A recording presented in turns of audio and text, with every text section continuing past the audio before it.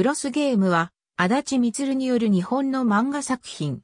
週刊少年サンデーにて連載された。主人公、樹、田村光と、その幼馴染である月島家の四姉妹、長女の一葉、次女の若葉、三女の青葉、四女の紅葉を通しての青春を描く野球漫画。第一部、若葉の季節は、小学生時代、第二部は、中学生時代から高校3年生の夏の北、東京大会2回戦終了まで、第3部は決勝戦とその前後を描く構成になっている。2008年第43号の第2部終了後しばし救済し、2009年15号の第3部開始によって連載が再開する。2010年12号にて完結。単行本の累計発行部数部数は950万部を突破している。高校野球という題材を活かし、青春とスポーツの爽やかさと、ほろ苦さを描いた足立光らしい作品である。中等部末期高等部初期の内容については、特待生制度、学校の姿勢、監督の方針などの高校野球の暗部にクリティックを含んだ視線を向けた点も小学館漫画賞などで評価されている。2009年第54回小学館漫画賞少年向け部門受賞。同年4月から翌年3月までの1年間、テレビアニメが放送された。なおタイトルの英語表記はクロスゲームであるが、接戦を意味する野球用語のクロスゲームはクローズゲームであり別の語となっている。主人公はスポーツ用品店、北村スポーツの一人息子であるき、田村光。近所のバッティングセンターを営む月島家とは家族ぐるみの付き合いであり、同い年の若葉とは特に親しかったが、その反面一歳年下の青葉とは犬猿の中だった。はじめは野球に興味がなかった子だが、青葉の投球フォームを見て憧れ、人知れずトレーニングを始める。そして、小5の夏、若葉が突然の事故で亡くなる。中学生になった子は、野球部にこそ所属していなかったが、トレーニングは続けていた。そして、小学生の頃から付き合いがあった中西、赤石と共に星州学園高等部野球部に入部したが、星州では校長が病に倒れ、校長代理となった教頭が野球部の甲子園出場を掲げ、新たに外部から名監督との呼び声高い大門監督を招聘し、超高校級との呼び声高い東や高い野球センスを持つミキなど有望な野球留学生を集めるようになっていた。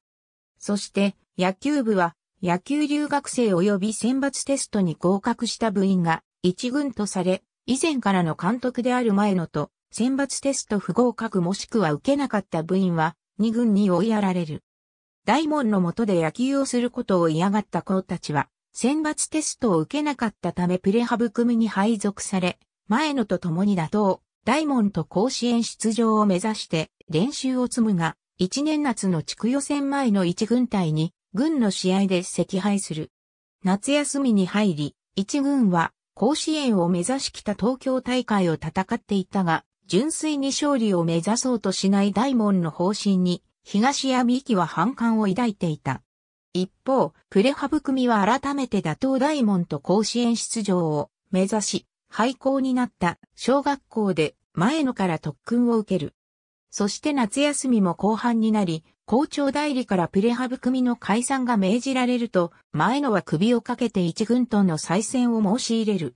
しかし一軍では、大門の方針に我慢できなくなった三木が他校へ転校し、東は甲子園への近道を見極めるために試合出場を拒否する。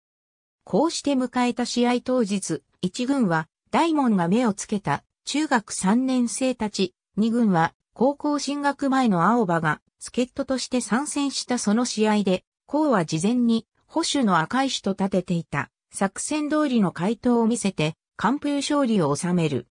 その結果、一軍野球部が解散となり大門は解任され、大門に集められた一軍の部員たちや教頭は他校へ転校するが、東は保守に残って校たちと甲子園出場を目指す道を選ぶ。翌春、青葉も高等部野球部に加わるが、女子であるがゆえに公式戦には出場できない。それでも、青葉は欠かさず練習に出て野球部を鼓舞し、甲がエース、赤石が保守、中西が3番打者、東が4番打者となった新チームは、悲願の甲子園出場を目指す。学年、年齢は、第3巻開始時点のもの。第2部開始直後の2巻は1つ上。また、8巻13巻で1つずつ上に進級する。公式野球部関係者生徒転任。転校2009年4月5日より、テレビ、東京系列にて放送が開始された。アニメーション制作は、MR メルヘブン、メジャー、ハヤテのごとく、絶対可憐チルドレンなど、数多くの週刊少年サンデー作品を制作してきたシナジー SP が担当。 MÄR メルヘヴン、ハヤテのごとく、絶対可憐チルドレンと週刊少年サンデー原作のアニメが続いた。日曜朝10時枠での放送となり、あだち充原作の漫画作品では、H2 以来13年ぶりのテレビアニメ化となる。ハイビジョン制作、アナログ放送では16、旧レターボックスでの放送。同時ネット局のみ、字幕放送も実施。全50話。基本的に原作通りに進むが、月島若葉が第1話で他界する、月島青葉が女子野球に参加するシーンが明確に描かれたり、秋季大会の試合シーンも描かれるなど、多少の違いがある。また、原作にある性的シーンや表現がカットされている。キャストのクレジットでは、2役担当している野沢雅子は、野物美、神田明美は、月島若葉か、滝川茜のいずれか一方のみを表記している。第16話から第46話までは、野物絵描き歌とクロスゲームクイズが交互にアバンパート前に置かれている。作品が高校野球や女子野球を扱っているためスポンサーに若さ生活が入っており、青葉が福知山整備高等学校女子野球部選手に球勝負を求める内容の CM が放送されている。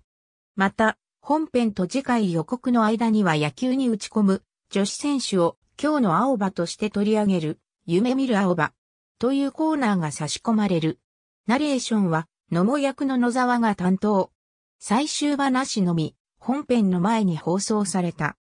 アニメ版のキャッチコピーは、あの夏。止まったままの時間が動き始める2009年最高のラブストーリー、サンデーでの連載はアニメ最終回1ヶ月前に終了したばかりであるが、原作最終話までアニメ化された。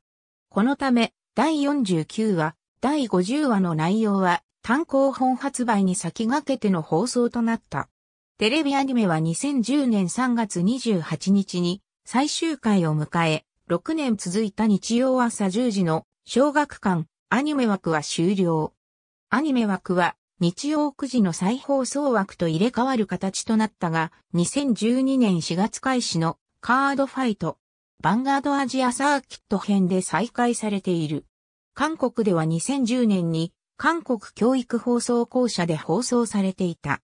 これは日本製アニメの地上波放送が完全に途絶えた2008年以降に韓国の地上波で例外的に編成された純粋な日本製アニメとなっており、EBS で放送された日本製アニメについても本作品が唯一となっている。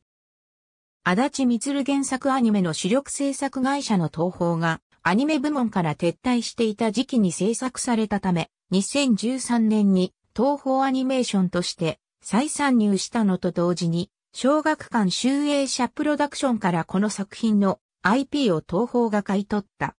2013年4月から2014年3月にかけて東京 MX でも放送された。2015年12月まで京都放送で放送されていた。ありがとうございます。